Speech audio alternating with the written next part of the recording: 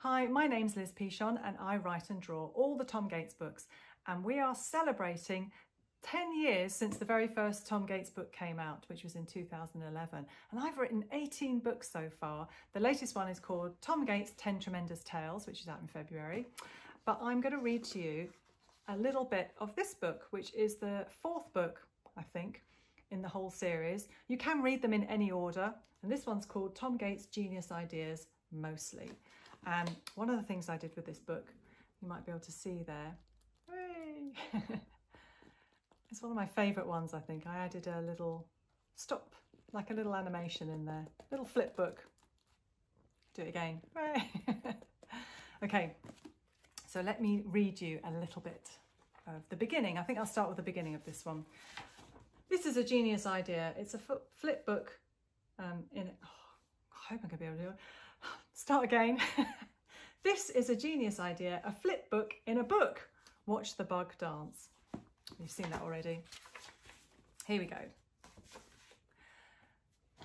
There's lots of drawings in this book.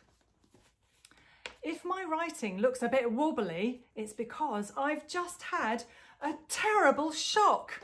So to help me calm down, I'm searching for a special emergency biscuits I keep hidden under the bed. It's definitely an emergency.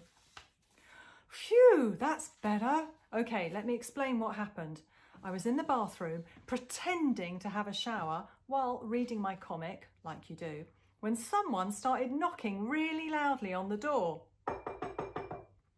I assumed it was my sister Delia, so I ignored her. Then she did it again. And again. And again. oh, my knuckles.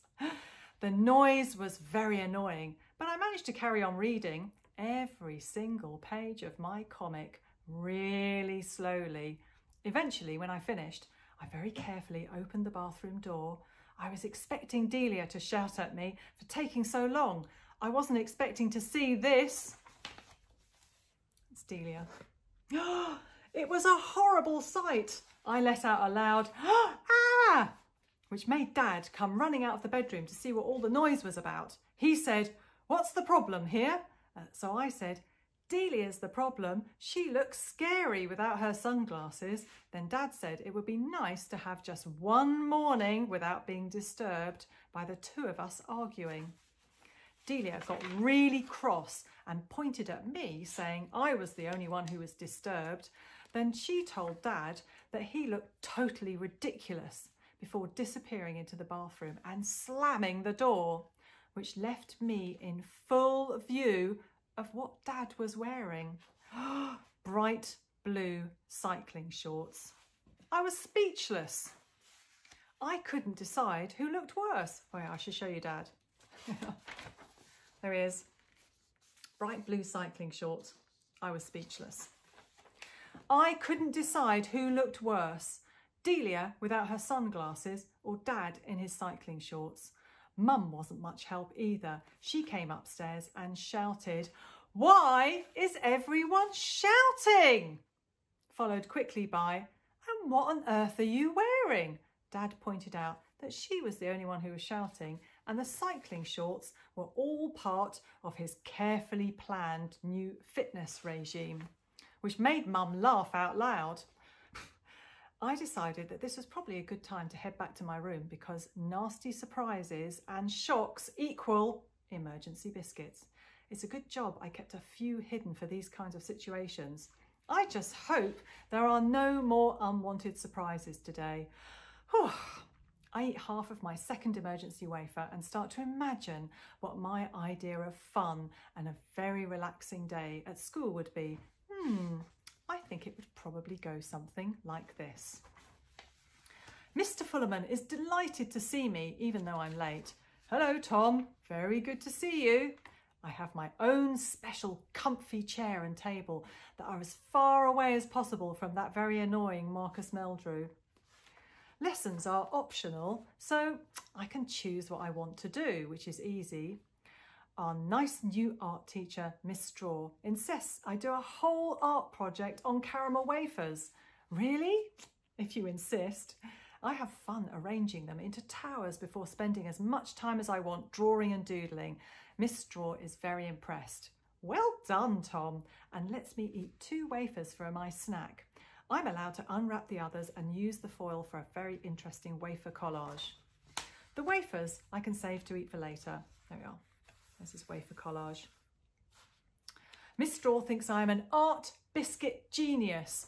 Well done, Tom. What can I say? You deserve a hundred merits for this amazing collage, Miss Straw. I show my hundred merits to Marcus, which annoys him. Then the day gets even better. A few friends and I have a delicious lunch served by the teachers. More iced water, Tom? I eat the best part of the dinner hall for a change, and I'm allowed to have seconds of pudding, followed by a relaxing rest with my feet up before the next lesson starts, which is extra fun experiments outside because it would be sunny on my perfect day. The whole class helps me to place hundreds of wafers in a long row around the school, and then I get to push the first wafer forward, causing them to all fall one by one in an amazing pattern like dominoes, like this. That would be fun to do, wouldn't it? Ding, there we go, all the way around.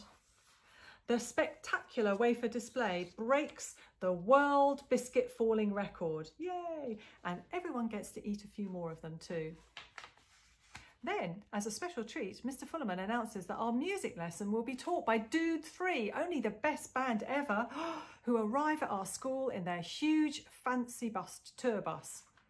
They put out a fantastic concert on for the whole school, and because Derek, my best mate, and I are Dude 3's biggest fans, we get to stand on stage and play along with our own guitars to all the songs that we know. Dude 3 congratulate us on how good we are, which makes Marcus Mel- Meldrew pull a face like this. but that's nothing compared to the look on Delia's face when Dude 3 pull up outside our house in their tour bus. Then me and Derek go out saying, Later, Dude 3, and the whole band who wave back to us. Then we carry on our brand new cool guitars that the band have given us back to the house now that's my idea of the most amazing day at school ever. There you go. that's him, that's Tom and the bus. So he's imagining what a brilliant day at school would be like. What would your brilliant day at school be like? Actually, it's probably nice just to be at school at the moment. there you go. So that's it. That's the a little bit of genius ideas mostly. Ah. Love that bit. And the bugs. Bye.